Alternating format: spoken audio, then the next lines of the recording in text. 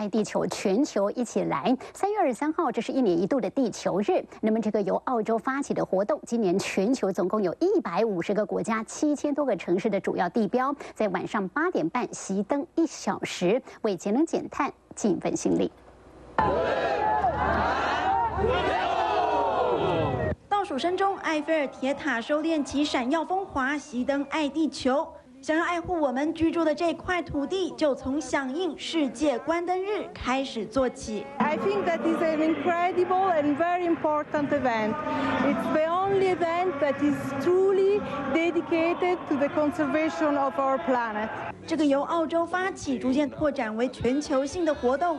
每年三月底的星期六晚上八点半，全球各地主要建筑指标关灯一小时。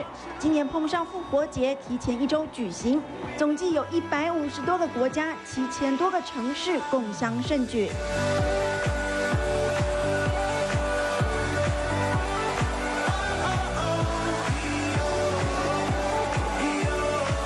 过去总是缺席的俄罗斯，这一次首度参加。时间一到，整个克里姆林宫瞬间陷入漆黑。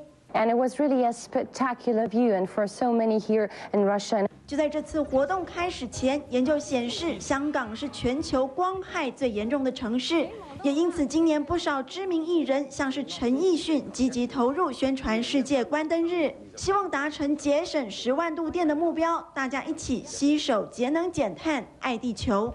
三新闻转播道。另外。